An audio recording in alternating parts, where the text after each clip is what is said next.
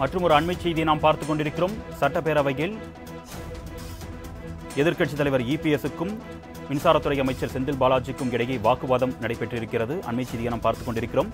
தேர்தல் தேதி அறிவிக்கப்பட்டதற்கு முன்னர் விவசாயிகளுக்கு இருபத்தி நான்கு மணி நேரத்திற்கு விலையில்லா மின்சாரம் என்று அறிவித்தீர்கள் என்று செந்தில் பாலாஜி தெரிவித்திருந்தார். இது தொடர்பாக எதிர்க்கட்சித் தலைவர் எடப்பாடி பழனிசாமிக்கும் மின்சாரத்துறை அமைச்சர் செந்தில் பாலாஜிக்கும் இடையே வாக்குவாதம் நடைபெற்றிருக்கிறது. அண்மை செய்தியை நாம் பார்த்துக் கொண்டிருக்கிறோம். கூடுதல் விவரங்களை செய்தியாளர் செலினா வழங்க நாம் கேட்கலாம். வணக்கம் செலினா. விவரங்கள் சொல்லுங்கள் அதாவது விவசாயிகளுக்கு இலவச மின்சாரம் வழங்குவது குறித்து சட்டப்பேரவையில் அஹ், முன்னாள் அமைச்சர் அஹ், தங்கமணி பேசிய பொழுது அதற்கு பதிலளித்த குறிப்பாக செந்தில் பாலாஜி இலவச மின்சாரம் வழங்குவதாக திட்டம் என்பது இரண்டாயிரத்தி இருபதாம் ஆண்டு தேர்தலுக்கு முன்னதாக திட்டம் என்பது போடப்பட்டதாகவும் தேர்தல் அறிவிப்பிற்கு பிறகாக அந்த திட்டத்தை நிறைவேற்றாமலேயே அதிமுக ஆட்சி என்பது கைவிட்டு விட்டதாக குற்றம் என்பது சாட்டப்பட்டார்.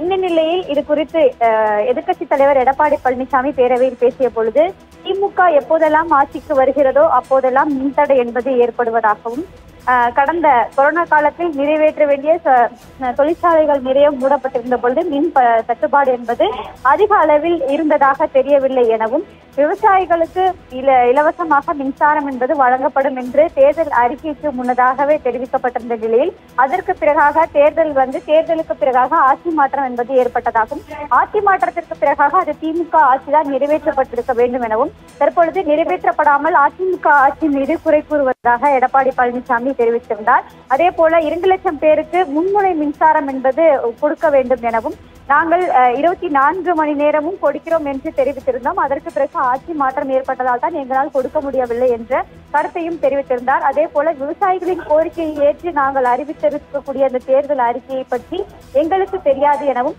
உங்களுக்கு தெரிய வேண்டுமென்றால் தெரிந்திருக்கலாம் என்றும் தெரிவித்திருக்கிறார். அதே போல அதிமுக ஆட்சியில் கட்டமைப்பை மேம்படுத்துவதற்கான அரசாணை மட்டுமே வெளியிட்டதாகவும் செந்தில் பாலாஜி தெரிவிக்கப்பட்டிருந்த நிலையில் அதே போல எண்பத்தி ஒன்பதாயிரம் பழுதடைந்த மின்சார கம்பிகளை வந்து திமுக ஆட்சிக்கு பிறகாக பழுது சரிபார்த்திருப்பதாகவும் அதிமுக ஆட்சியில் பாதியிலேயே அந்த மின்சார கம்பிகளை பழுது சரி செய்வது அதே போல விவசாயிகளுக்கு மும்முனை மின்சாரம் என்பது இலவசமாக வழங்குவது உள்ளிட்ட பல்வேறு திட்டங்களை பாதியிலேயே கைவிட்டதன் காரணத்தினால்தான் தற்பொழுது மின்சாரத்துறையில் வந்து குறிப்பாக இலவச மின்சாரம் என்பது வழங்க முடியாத சூழல் என்பது ஏற்பட்டிருப்பதாகவும் அதற்காக வரும் காலத்தில் விவசாயிகளுக்கு இலவசமாக மின்சாரம் வழங்கக்கூடிய திட்டத்தை விரிவாக வழங்கப்படும் என்றும் இந்த குறிப்பாக இந்த இன்று சட்டப்பேரவையில் பேசும் பொழுது அமைச்சர் செந்தில் பாலாஜி குறிப்பாக தெரிவித்திருந்தார் விவரங்களுக்கு நன்றி செலினா.